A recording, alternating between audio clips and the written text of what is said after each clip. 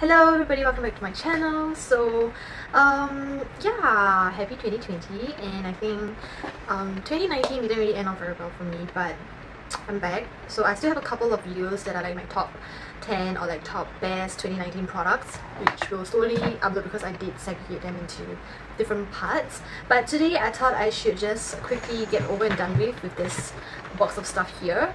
So this actually products that I ordered um, for Good Friday. And um, I wanted to do a Black Friday video for you guys but it was a long long video and a lot of products are everywhere. So I decided to do this one first. And yeah let's just jump right in. So all along I've been shopping at Cult Beauty for a really, long time and I think the prices are always very competitive. So I really like to purchase um, and shop there. So this is the first time that I bought a couple of things and it actually really gave me a legit like box for me because firstly um whenever I order from them right they use cardboard. Fold into like the box shape so like it wraps my products and then they wrap it with plastic which I always felt it was a little bit cheap but I mean the price is competitive. I can do with it. But this time they actually give me like a legit big box for my items. So I thought like I should just dedicate one for them. So yeah I have the receipt here or the shipment shipment order. So yeah first up right is the Anastasia Beverly Hills palette Vault um, I have always wanted to get Anastasia products like for a long long time. And um, for some reason because like it hits and misses and whatnot I believe there's one that it came out it was really like a very very bad. It doesn't have any pigmentation it just crumbles a lot of fallout and whatnot. So it kind of put me off and it's been a while since I'm into eyeshadows like really. For 2019 I almost lived with no eyeshadows. Like the most I had was like very minimal one um, and I sort of like forgot how to place the shadows, how to be creative. I wasn't motivated to eyeshadows, to do eyeshadows, you get what I mean?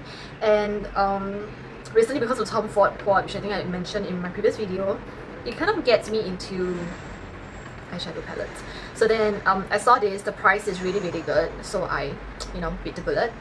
So the first one you have Modern Renaissance and then you also have Soft Glam which is the two palettes that I really really wanted from Anastasia. So um, I much prefer the Soft Glam because I think the colors are more muted um, and I think it's easier for me like it's more in my comfort zone which I don't have to really kind of like plan before I do my shadows and everything. Um, but I do like Modern Renaissance because the colorway, the color story is just very bright and it's also like in the red and browns, burgundies, you know, all those colors that are that always have a place in my heart. So I bought this one and I think that the packaging looks really nice as well. I mean it's glitter, it's not glaze or whatsoever but when you rub it hard, mm, some glitters do get off but it's not like rainy glitters or whatnot. So I think this is really really cute. So it retails for 46 pounds because I live outside of the UK so yep it's 46 pounds. Yep, correct. Oh and anyway I have uh, a coupon code so I have 25% off. So yeah the price I think I believe it was before discount so it's 46 pounds. Next up I have the NARS reflecting loose powder which I've already started using. Um I feel like this one is something that you can probably live without and probably not get it because it reminds me a lot of the RCMA No Color powder. It reminds me a lot of the Makeup Forever HD powder um, and that sort of powder, you know, and it reminds me a lot of the Innisfree like no sebum powder. So the texture is really same. Um, it's like white cast. It's not really like it doesn't give a white cast, but it makes your complexion a little bit paler. You know that kind of thing. So this one is 10 grams. It's 24 pounds, and I feel like um, the NARS one is not comparable to the Laura Mercier. That one has more body, like the powder has more substance, more body to it. It felt heavier, I think, but it really kind of sets everything down and I don't know, for some reason I much prefer the Laura Mercier one and because I have more like oily combination skin, I feel like the Laura Mercier does have more like oil controlling properties than that. So, and the NARS is 10 grams, the Laura Mercier is 29 grams. So, you know, pick your own. So I think that, I mean, you can really go away with the Laura Mercier one. If not, just get the Innisfree one, which I think is almost exactly the same. And this is also 10 grams. Yep, it's also almost 10 grams, yep. And the thing is, this is so small, and it's like almost a fraction of the price. Then moving on, I have Huda Beauty, which is the Mercury Retrograde Palette. So I bought this one. It is their 4-piece press kit, right? I got this 60 pounds. because I think like for $20 extra I got four other items so I think it's very very good so I purchased this I mean an extra you know like holographic pouch is always nice so inside they actually have like this three brushes which is dual ended. The only thing I don't like is this sponge applicator here because all you guys know that sponge applicator be it that you use it or not as time goes by it kind of just degrades and then it becomes powdery and all this and just like fades away. Um, but brushes are something that you can use all the time and you can reuse it for a long long time. So I don't know why they want to include this one but the brushes I felt it it was quite okay. Um, and they're dual ended so it's actually very convenient for traveling. And then I also really like the handle because it's also holographic which I like. And then this is the palette um, itself I've always wanted, like the Anastasia palette, right? I've always wanted to try something from Huda Beauty. Last year when they came out with Nude, the Nude palette, which on Sephora.sg it has a 30% off right now, or 20% off. I'm not really sure, but check the price if you're interested. Um, I've always wanted to try that product, but then um, this time when it came out, I thought like I should try the new one. And also the packaging has an upgrade. It's no longer the cardboard packaging, it's more like plastic. Then the colors are really, really nice. Yep, I think these two rows are really like colors that I will wear very, very often because the colors are more muted, so it's more like my type. And here, although the colors are not something that I reach out very often, especially the blue and the purple, or the green and the purple, but I think it's always good to have something, something like extra in the palette, so as and when you need it, you have it. And if not, it's always fun to look at. So this is Huda Beauty.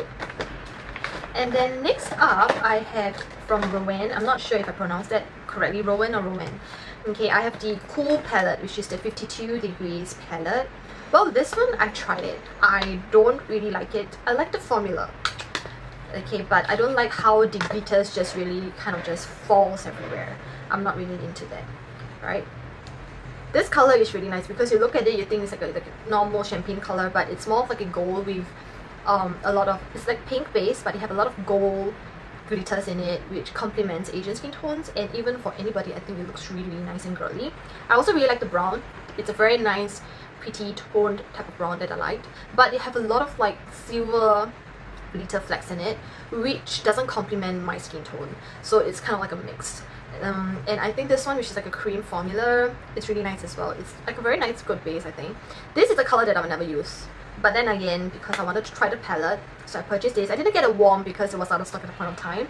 Uh, it recently came back in stock but because I've used this palette and I don't like how much it felt like it just fell off um, a lot of fallouts um, I'm not sure I want to get too warm.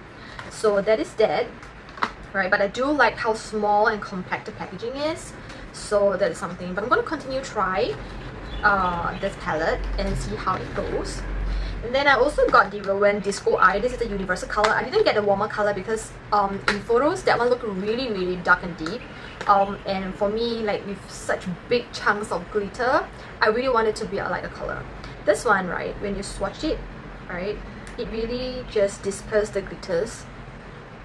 You see this?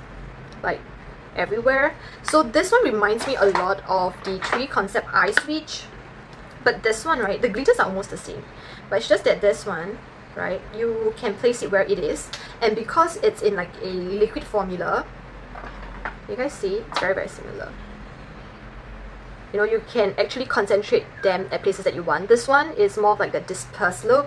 So this you get it when you want to have it on your upper eyelids, you want it to be dispersed. If you want very concentrated ones, I will rather recommend this kind because they have applicator. They, you don't have to have a mix, mixing medium in it. So take your pick, but both of them reminds me very similarly of each other depending on the color. Um, maybe the color difference. But other than that, they are very, very similar. And then because that one, if you wanted to really place it all over, right? If you use your hands to pat it, I mean, you can do that.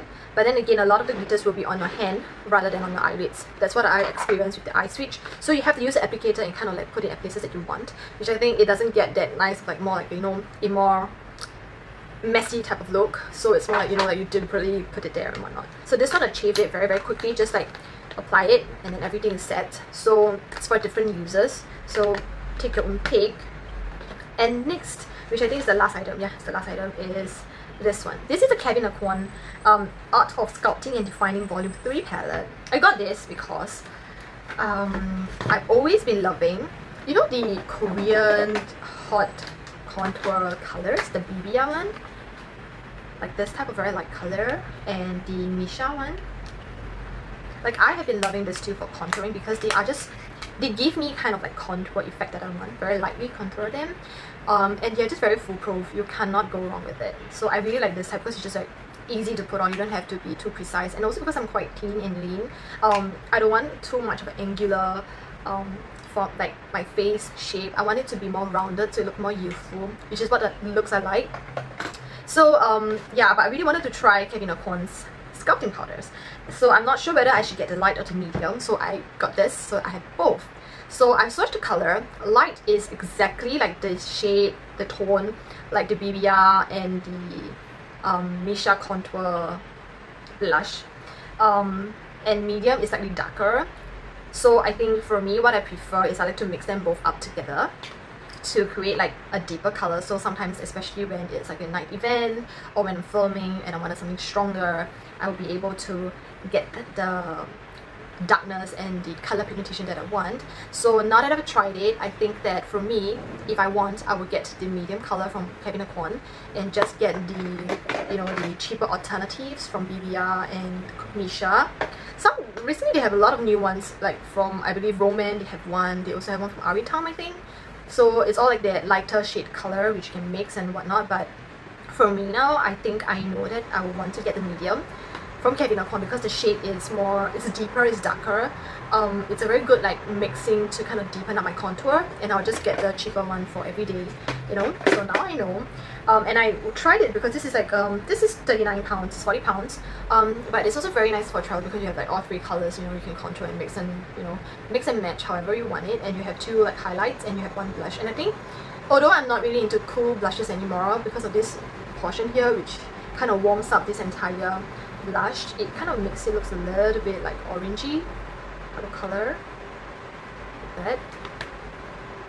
Like this. So it's more like orange peachy type of color. You can mix uh, anyhow like you like it. I think it's pretty good. Yeah I think it's pretty good. So um, it gives me like a chance to try everything which I think that's awesome. So yeah the only thing I don't like is I don't know why they have to put this here. Uh, yeah I don't know but yeah I like this one. I, think um, it's a very good palette to travel because you have almost every single thing there. And then yeah this is my Cult Beauty haul that I got for Black Friday. And I hope you guys enjoyed and I'll see you guys soon. Bye